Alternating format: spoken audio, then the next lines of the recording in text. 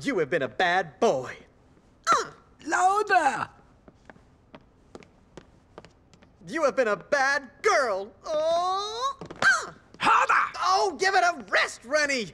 I went to film school. I am an expert in everything. I love bullying people. I'm perfect. So why do I have to spend my time whipping you? For the art! Oh, you're so very bourgeois. Sweet, but so-so. Average. Go. It's over. You're fired. But Reni. But Reni, but Reni. Reni, you are fantastic and I am so very mediocre. Now, go! oh Darling, you are here to lighten my heart. Uh, not exactly. I love you. I love this man.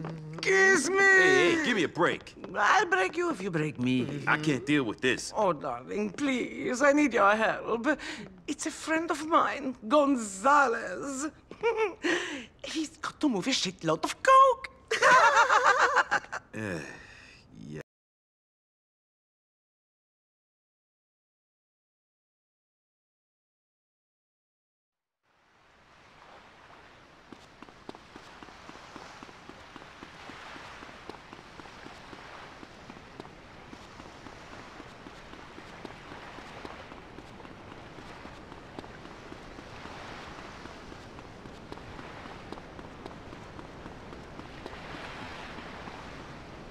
At the Lovefish Show, pal. We gave out tickets last month and the winner died in a drunk driving accident.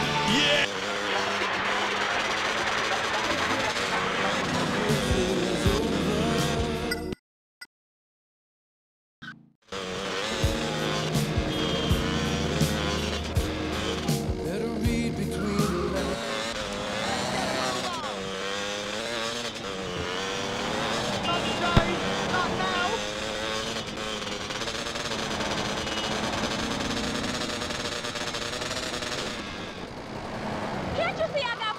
Got places be?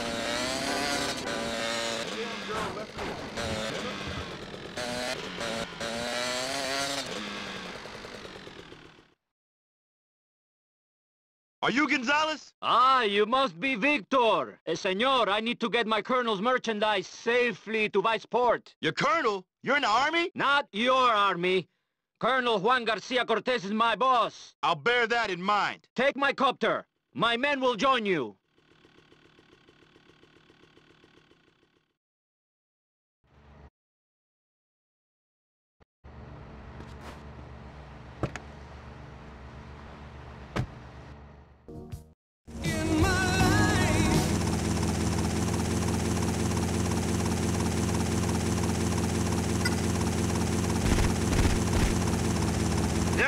Coming. Get them!